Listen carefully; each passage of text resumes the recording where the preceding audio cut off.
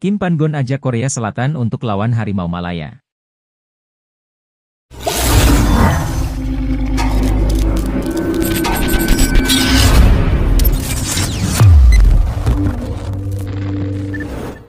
Pengendali pasukan Harimau Malaya Kim Pan-gon mengaku telah menghubungi Persatuan Bola Sepak Korea Selatan KFA untuk mengadakan aksi persahabatan melawan Malaysia.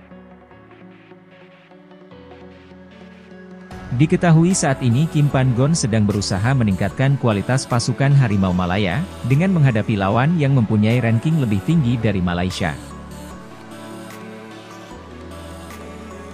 Kim Pan-gon lantas berencana untuk mengadakan perlawanan persahabatan melawan gergasi Asia yakni Korea Selatan.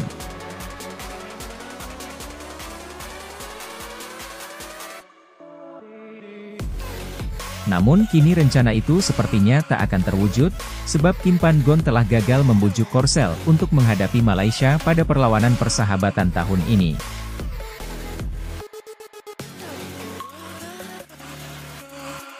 Ya, pihak KFA tak mahu menghadapi Malaysia karena pasukan Harimau Malaya dinilai memiliki ranking FIFA yang masih jauh dari Korea Selatan. Diketahui saat ini Korea Selatan berada di peringkat ke-25 FIFA, sementara Malaysia di posisi ke-142.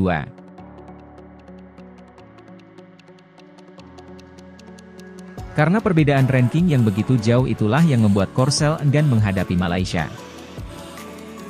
Meskipun gagal melawan Korea Selatan, namun Malaysia sudah dipastikan bakal menghadapi Turkmenistan dan Hong Kong pada FIFA Matchday Maret nanti.